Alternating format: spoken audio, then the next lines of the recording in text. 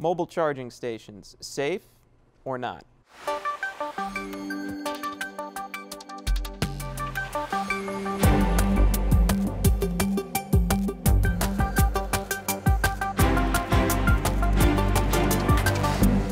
So Ken, uh, here you are bringing us a story about juice jacking. Can you tell us a little bit more about that?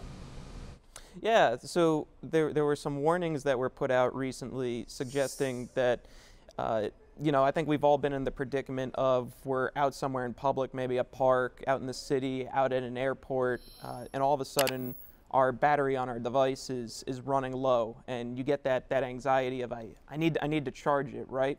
and maybe you don't have a, a, portable charger with you or a wall outlet isn't available, so you'll plug into uh, a, a, base station that someone provided that let you plug in and charge your phone or your, your tablet.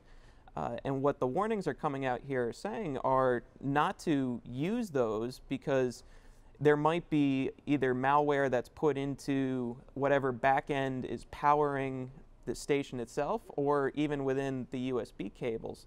And so what they were what they were showing in here was uh, they actually took a, a, homemade charging station out to a, a park or a local area, and when people came up and were charging it, they were then able to say, "Oh, this is what you're doing on your phone." Now they had a it looked like uh, either screenshots or video capture of the the phone. So if you're uh, charging at uh, at the park in this case and you go on to a website to buy something and you put in your credit card number, now this actor all of a sudden has your credit card information and you know you're out of luck.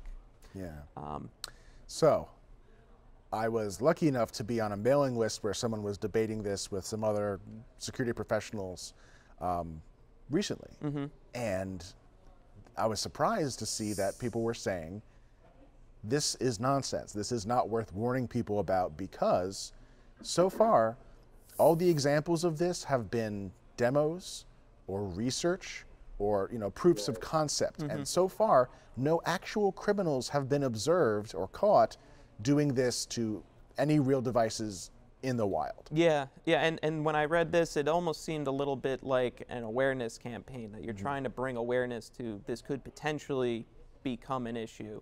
Juice jacking has actually been around as a term, I think, since 2011. Mm-hmm. Um, I think DEF CON, it was first uh, conceptually shown at, or might have been Black. I think I might have seen, because somebody had built a charging tower. Mm-hmm. Uh, this was back in the day when the, the iPhones still had the, the wide connectors, yeah. right? Yeah. And then, you know, you could plug in an iPhone at that, and I think at that point, the iPhone would actually mount as a drive if you had it connected to a computer. Right. So like back then, it was a real thing. Like it was a real threat because there was nothing that the phone would do to protect itself. It would just say, okay, I'm connected to a computer. Mm-hmm. I am now a hard drive. Feel free to take files off of me.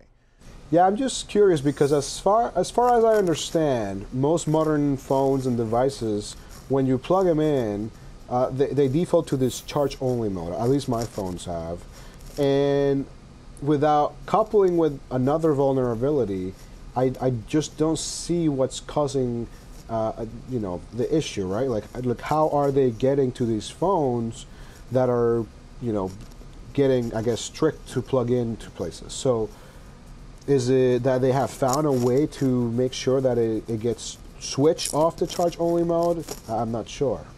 And we had some some of the same questions as well when we watched the, the demo video right. that was on this on this website. Yep. Um, I think you went and checked it out to see if you could find like we know there are, there are systems that we interact with where if you plug in a phone, it might be able to mirror it to a second screen, right. which would explain what we saw in the video, right? Yeah, and I haven't found uh, one yet, uh, but my understanding was it's always like you said, Jonathan, was just it's going to ask you, are you want charge only mode or do you want to do something else with it? And unless you make the, the visible effort to go past the default of charge only, uh, I don't I don't know if that necessarily presents a problem. And mm-hmm. Apple and Android have, since this originally came out in 2011, put out updates to do things like that. To say uh, we're going to default to charge only. We won't mount it as a hard drive.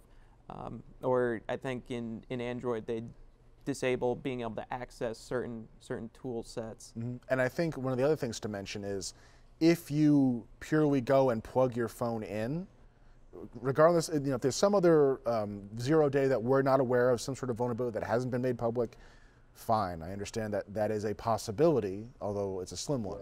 But if you simply plug your phone in and it is still locked, modern smartphones will defend it. You know, it, will just it'll just charge, and without user interaction of some kind, for the most part, and I'm I'm reserving this because I got something else to say. For the most part, you should be fine.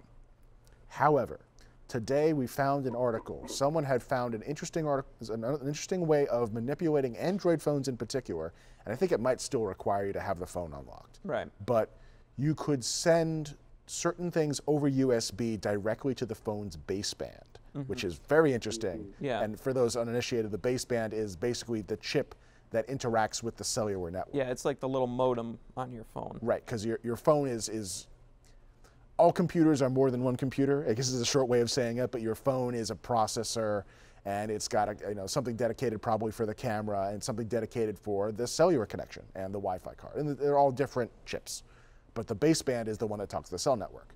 And this, this someone had found a way to connect, you know, when you plug your phone in over USB, to talk directly to the baseband and do certain things that it should not have been able yeah. to do. But even that, it seemed like it was restricted to older uh, to the AT, well, older devices, and the AT command set, I think, is the things that it was able to do. So that's from way back in the days of, of modems, you, you would send commands to your modem using AT and a specific command, and modern basebands, I guess, still use Some AT commands. Yeah. The, like the Hayes modem mm -hmm. set, I think it's called. You know, the more we talk about this, the more I realize that you, you still need something else, right? It's not just about plugging your phone to get charged it's about finding a vulnerability. Like, you know, yes, if there's a problem with the baseline that lets you do something to the phone bypassing the charging only uh, protections, then that is where we should be focusing on. When I typically hear about a real, real vulnerability, something that is actually dangerous, you find plenty of people on Twitter who are able to go out, and reproduce it, Mm-hmm. There's going to be a Metasploit module for it. There's yeah. going to be live demos. There's going to be people on YouTube talking about exactly how it's done, not how to defend against it, mm-hmm. but how it is done.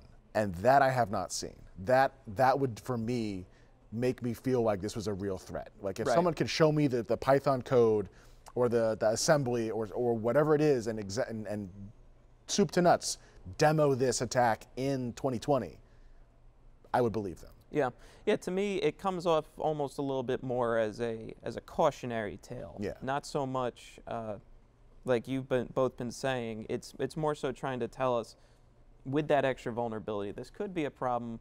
Uh, we'd recommend maybe you continue to use if you have your portable charger, your wall outlet over over say this. But as of yet, it seems like the the charging stations unless it's something someone's wheeling around in a in the park, uh, mm-hmm. maybe still safe to use.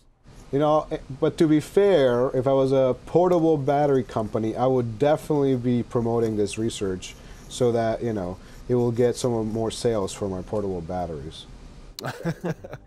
That's true. Like if, if you wanted to sell batteries, if you wanted to sell those little USB condom devices, yeah, yeah, you'd, you'd want people to know about the threat of juice jacking. But uh, that's fair.